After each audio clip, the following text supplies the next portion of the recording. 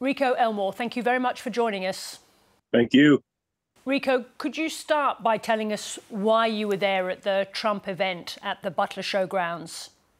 This is the office of the President of the United States of America.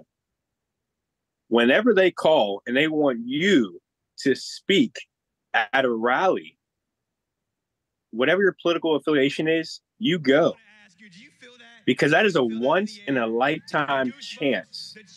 Now, me as the vice chairman of the Beaver County Republican Committee, to have the honor to go to a Trump rally and speak, it's it's unfathomable. You were seated very close to the front where President Trump was going to speak. What was the atmosphere like before he came on?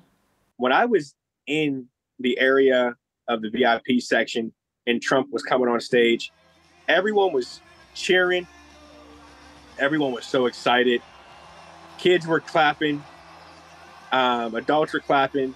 I think there were probably dogs barking. Like it was so lively. It was almost like a concert venue.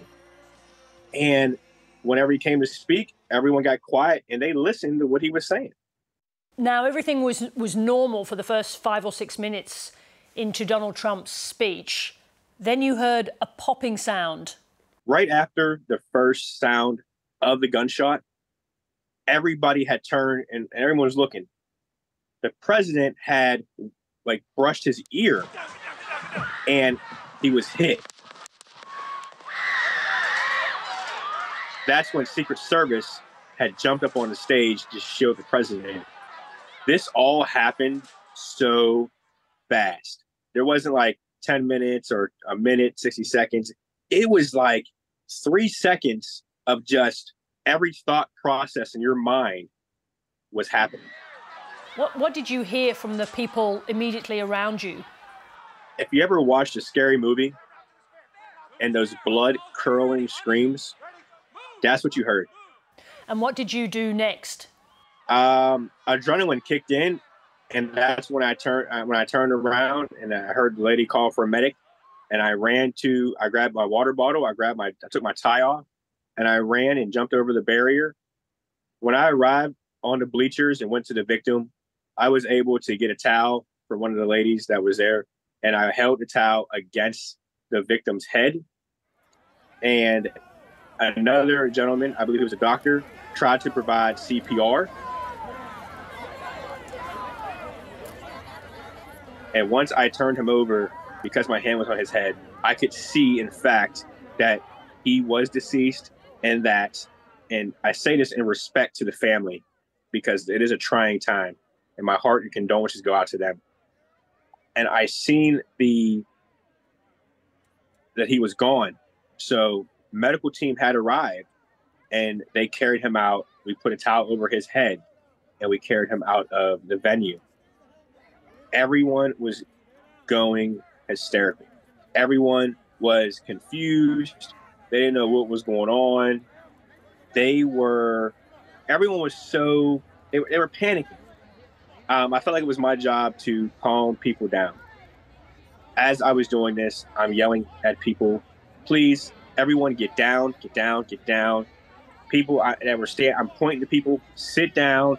And I just jumped up and and the action said, all right, you guys, let's go clear this out the way. Let's move the barrier here. We're clearing that whole area out.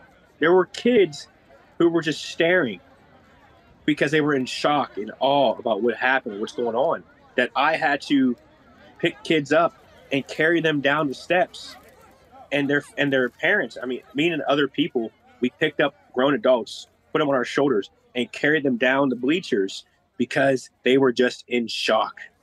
Now we know a little bit about the shooter. He's a young man from Pennsylvania. How do you feel about the fact that this was essentially someone from your own community who did this?